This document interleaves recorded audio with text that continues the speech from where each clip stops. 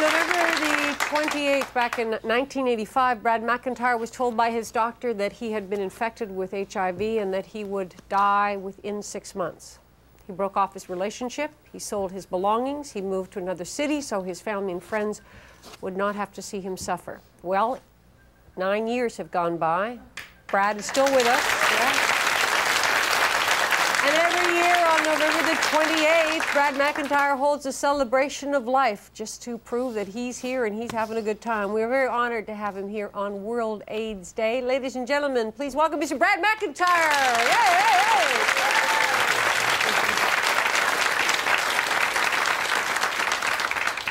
Uh, when the doctor told you back then in 1985, had you, did you have any suspicions at all, or was it a thunderbolt out of the blue? It was a thunderbolt out of the blue. Why did you have the AIDS te the test? Well, I actually had some swollen lymph glands, and we had done just about every test they knew of, and the only thing I hadn't done was the HIV test, and so I agreed to have it. It's a pretty big decision to, you know, and I, I, part of me understands it, I suppose, but why did you decide, break the relationship, leave the family, leave town? Why? Well, because uh, what I perceived uh, they would be affected by, you know, the illness, you know, and... Uh, you didn't want to make them unhappy? Uh, I didn't, I didn't want them to have to go through what I thought, you know, I was going to be putting them through in relationship to getting sick and dying, and, and maybe um, you know, going through things like sarco uh, um, sorry, Kaposi sarcoma and uh, different things that would be hard for them to handle in relationship to watching me digress. You know. So you decided to go off and do it all by yourself. So here, you, you sell everything, you leave. It's like a bad story, bad joke. Okay, you're sitting here waiting to die six months later. Well, seven months later, a year later, I guess better buy a bed now, huh? Get some furnishings. did you go and ask for your furniture back? no, but um, I, I, did end up uh, moving away and still being you know, healthy and, and alive, and so I had to put my life together somewhat so that I could afford to live and, and uh, you know, have some sort of a life. But it, it was one that, you know, it was about leaving with dignity at the time. That's what that's what I felt. But uh, that's only what I felt then. I don't feel that way now. Well, but there's also an, another big mental change. You you went away to die. Now you've got to decide to live. I mean, and that's a huge mental change. How did you do this? What?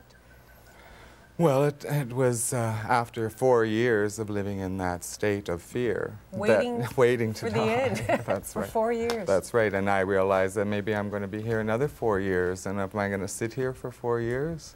You know, or am I going to do something about it? You know? That old saying, to uh, live while you're dying and not die while you're living kind That's of thing. Right. So you totally turned around. Totally turned around. And said, hello, I'm back. That's right. And you moved, did you move back? No, I didn't. I've stayed in Ottawa. I have wonderful people that uh, have uh, been great support and uh, loving friends.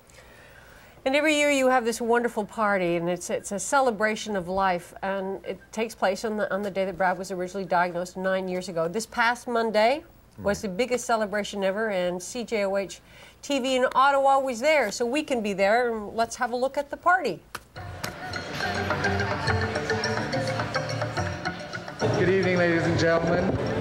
I'd like you to take a moment and look around the room. See each other. See that we are all connected.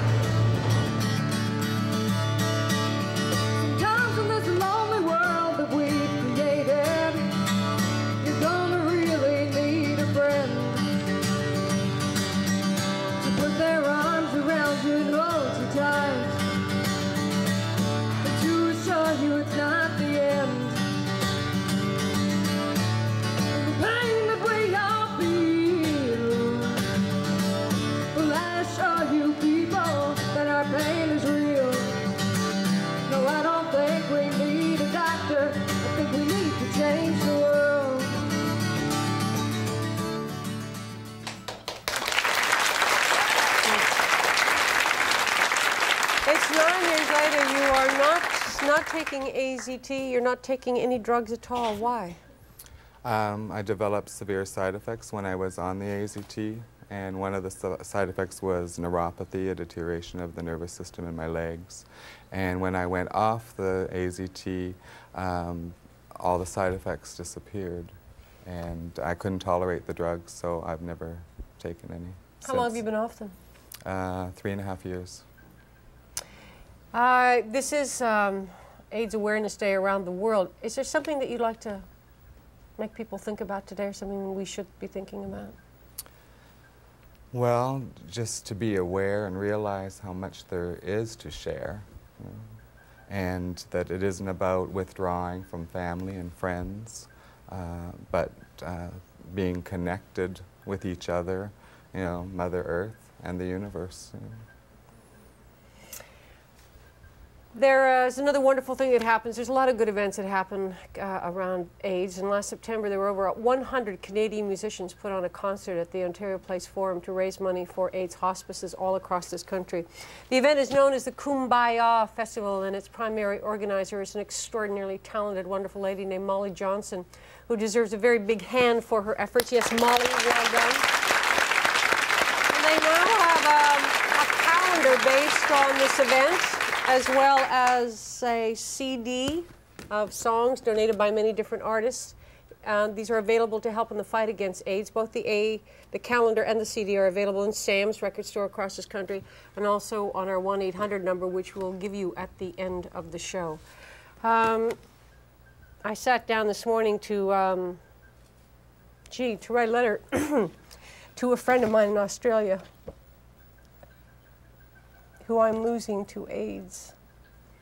We have all lost friends, and this is a day to celebrate the fact that uh, we are alive and that uh, those of us who are alive and have friends that we take joy in their life. And that, as Brad said, that uh, we recognize what we have and that we take care of each other. And if you know someone today who needs your love and your comfort, um, you should stop watching the show and go pick up the phone and give them a call and take care of them today. It's been such an honor to meet you. Thank you for joining us. Thank you very much. We'll be back in just a minute.